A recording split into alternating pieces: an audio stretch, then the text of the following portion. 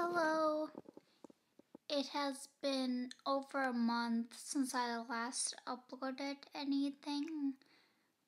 Um, my parents were here for a while because we were sorting out some family problems, but that's all taken care of now, so they left yesterday. And bigger news I started school last week, and that's not normally that big of a deal, but this was actually the first time that we've been on having classes on campus since March 2020.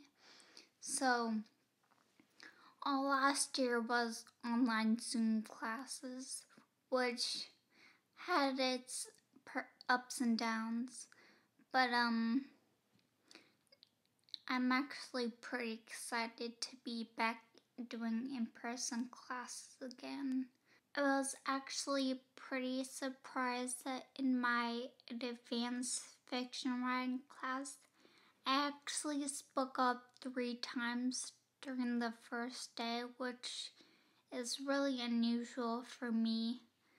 That might have something to do with the fact that there's only like 12 other kids in the class and it starts at 8 so you know that everyone who is there really wants to be there.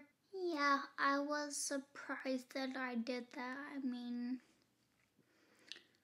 usually there's a statistic or something where if you don't answer something by the second or third class you're probably not going to be inclined to say anything else during the rest of the quarter. So I always try to make it a point to speak up during the first couple of classes, at least just once. But I don't know what came over me. He was just asking questions, and I just raised my hand instantly, which I normally would never do. So yeah, I'm kind of really excited about that. I'm pretty proud of myself for doing that, even though it seems kind of strange.